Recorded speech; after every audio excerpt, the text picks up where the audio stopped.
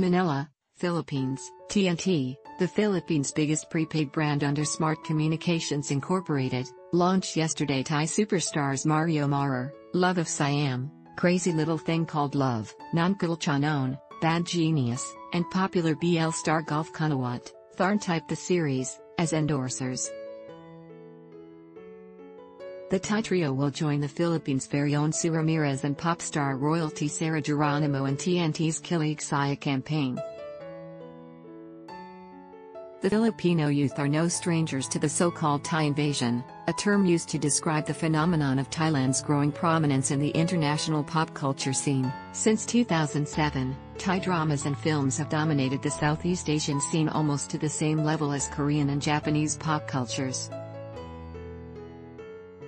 There are even Thai idols now making waves as K-pop performers globally. Nonkul Chanon is best known for the film Bad Genius, which became the highest-grossing Thai film of 2017. Overseas, it broke Thai film earning records in several Asian countries, making it one of the most internationally successful Thai films ever. On the other hand, Gulf Kanawat is best known for the highly successful Tharn Type the series, an adaptation of a popular Thai web novel.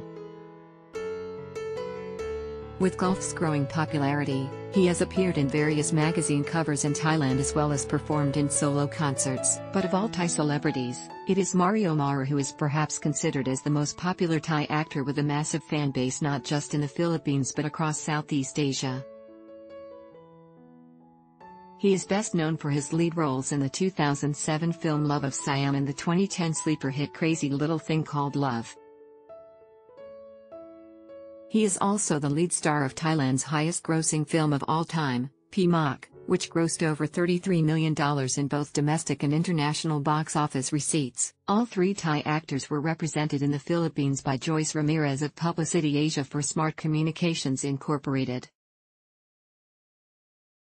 The onset of Thai invasion is unstoppable and this phenomenon is not just happening in other countries, there's also a huge following in the Philippines. Similar to Hallyu, Thai entertainment content has made it to the international stage boosted by stars like Mario Maurer, Gulf Kanawat, and Nonkul Chanon.